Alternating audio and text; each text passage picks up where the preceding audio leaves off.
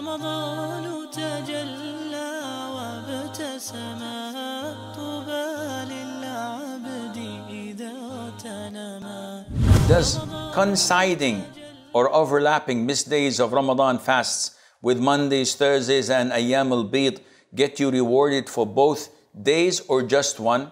No, the- actually, it gets you both days. And this is with the grace of Allah. But what comes first is your intention to make up missed days of Ramadan. If someone says, Ah, tomorrow is Monday, I'm fasting tomorrow because I fast every Monday and Thursday. And after he begins his fasting, he says, Tell you what, this is also Ramadan. Doesn't count.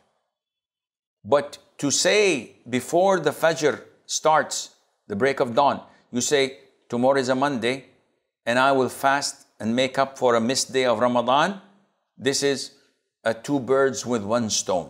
Likewise with Arafat and Ashura, by the way. Wow, I thought Ashura and Arafat were isolated. Yeah, some scholars say that, but Alhamdulillah, if you make up one of your missed days of Ramadan during Ashura, this does the job for a missed day of Ramadan and it expiates the sins of a full year, the previous year, and two years for Arafat as well.